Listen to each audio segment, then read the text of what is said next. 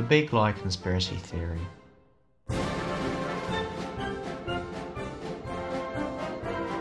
The Big Lie Conspiracy Theory captures President Trump's false claims that the 2020 presidential election was stolen by the Democrats. By framing Democrats and the deep state as the antagonists in this Manichaean struggle, the rhetoric around the big lie works to degrade levels of trust held by the demos in democratic institutions. Trump's tweets working in tandem with right wing media was a key tool that manufactured dissent amongst Trump's core support. And this spiraled into an insurrection on January 6, 2021. However, whilst the big lie has mostly been framed as an issue playing upon ideological tension, it has also played significantly upon racial tensions too, because imbricated within the mobilization of Trump's core support in the storming of the Capitol was the structural power of white rage. In attempting to prove voter fraud, Trump pointed to cities won by Biden with large African American populations such as Philadelphia, Detroit, and Atlanta.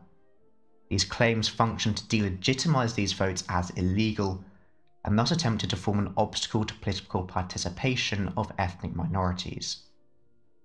Therefore, the threat to the big lie poses to democratic institutions cannot be solely reduced down to increased levels of mistrust. Furthermore, the imbrication of the big lie and political oppression on racial lines is not only within the executive's decision to undermine the election result, but also within the legislature's reaction to the big lie. The 147 congressional Republicans who voted to overturn the election's result obtusely performed white rage. However, on a more subtle level, the Senate Democrats' response to the big lie was also a performance of white rage.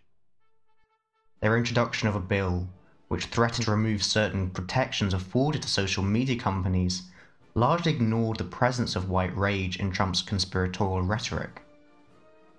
Framing of the bill undermines the importance of political participation of racial identities in US politics by suggesting that the threat to democracy posed by the big lie was not white rage, but of unfettered speech.